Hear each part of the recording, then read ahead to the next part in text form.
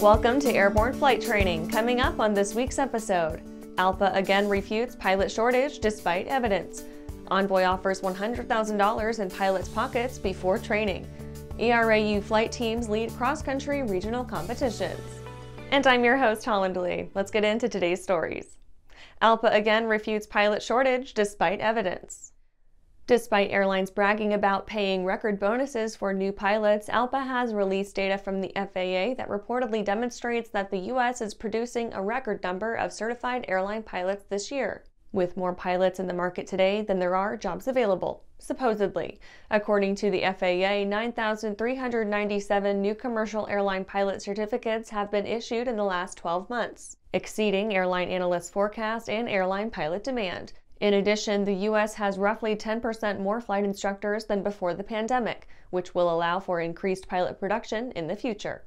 Despite the ongoing strong growth in the number of pilots available in the U.S., ALPA claims that some special interest groups continue to spread misinformation, blaming profit driven service cuts on a lack of available pilots. ALPA says that their real goal is to weaken proven pilot training safety standards so they can hire less qualified aviators for lower pay and benefits. Airlines cut or modify service to small, less profitable communities while adding additional service to markets that are more profitable. It has nothing to do with pilot supply or safety regulations.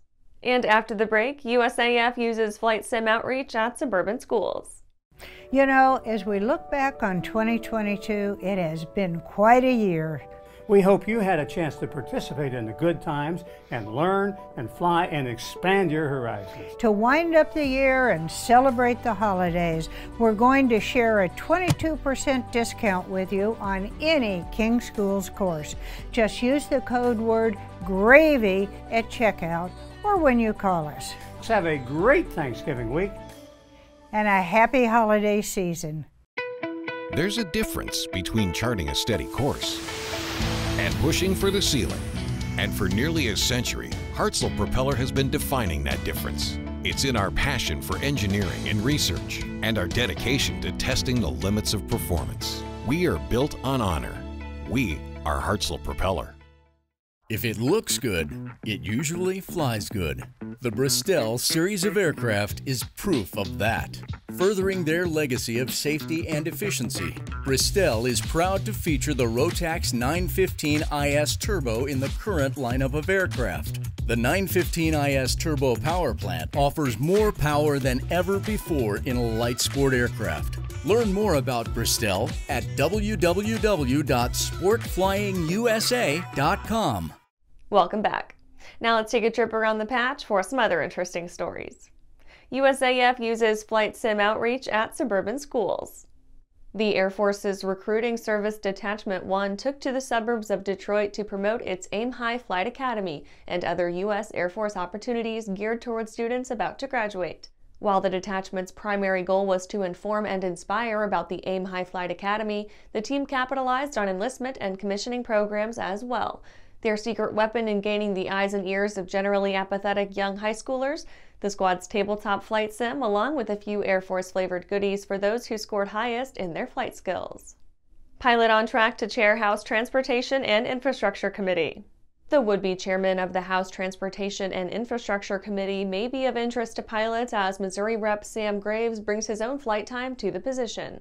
Graves is set to replace the current committee chair, Oregon's Peter DeFazio, who has led the panel since 2015. Graves has made some news in recent months over his comments regarding the bipartisan infrastructure law. Congressman Graves, in a rare turn of events for a politician, brings real career history to the floor, a lifetime in aviation as a professional pilot. AMA recognized as an official CBO. After first establishing the creation of CBOs to offer some structure and guidance to the recreational drone community, the FAA has officially recognized the Academy of Model Aeronautics as a community based organization as of November 15, 2022. CBO recognition is important for many reasons. This validates and gives credibility to our safety program among stakeholders and regulators. Although AMA has been shaping regulations for decades, legislation gives CBOs a more formal seat at the table when the FAA considers recreational regulations. Horizon Air donates Q400 to AMT program. Horizon Air donated one of its older Q400s to the Portland Community College Foundation for use in the school's aviation programs.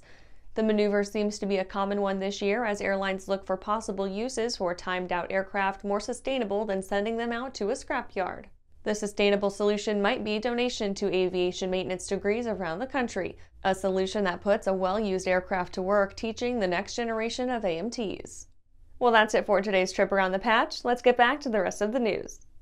Envoy offers $100,000 in pilots' pockets before training. Envoy is sweetening the deal for new hire pilots, offering up to $100,000 of bonus money for those with the kind of logbook the airline is looking for. For those pilots who receive a conditional job offer until December 31, 2022, the full amount of the bonuses, less taxes of course, will be paid out on the day prior to the pilots reporting to training. The catch? Pilots will have to have a good deal of Part 121 flight time under their belt. The grand prize of $100,000 is available to pilots with more than 950 hours of 121 time and $75,000 to pilots with anywhere from 500 to 949 hours. In addition to the bonuses, new first officers with more than 500 flight hours will be eligible to receive a 50% pilot supply premium and captain's pay once they reach 750 hours, at least while both programs are still in effect.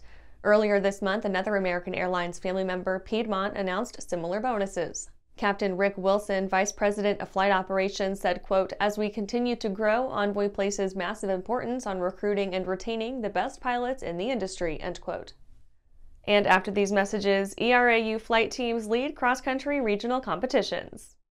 Throughout the globe, Piper Aircraft has hand-selected the very best in company representation, service, and support.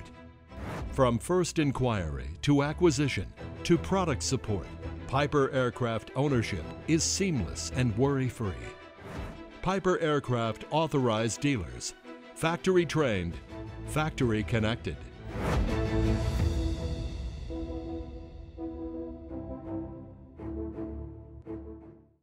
Aviation Safety Resources is disrupting the market for aircraft emergency parachute recovery systems. ASR systems are smaller, lighter weight, and offer longer repack cycles than similar products available in the current market.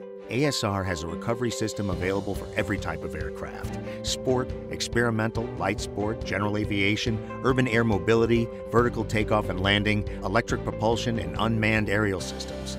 Find the right product for your aircraft at aviationsafetyresources.com.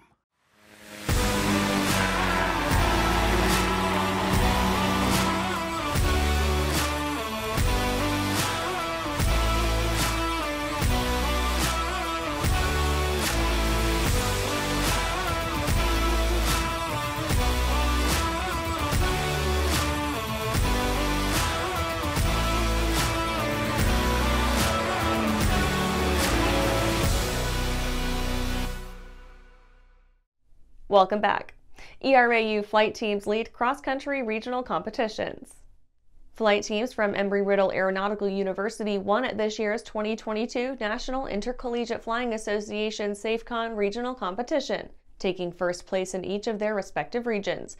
The Golden Eagles flight team from Embry-Riddle's Prescott campus won at the Region 2 competition held in Bakersfield, California, while the team from the Daytona Beach campus earned their title at the Region 9 competition in Lakeland, Florida. Teams swept up the competition at both ground and flight events with all four top positions. Whether competing in computer accuracy, comprehensive aircraft navigation, or aircraft recognition, ERAU students set the bar. Team members nabbed top spots in their maneuvers too, acing the short field landing, power off landing, and the unlimited navigation events. This year also saw the school pick up their first competition safety award since 2018, going up against a raft of college aviation departments from around the country. Golden Eagles flight team coach Sean Shepard said, quote, The Golden Eagles took 21 members of the team to participate and continued its long tradition of winning regionals, end quote. And that's our show for today. You can catch episodes of Airborne on YouTube, Roku, or Fire TV. Just search for Aero News or Airborne, and don't forget to follow us on social media. Thanks for watching!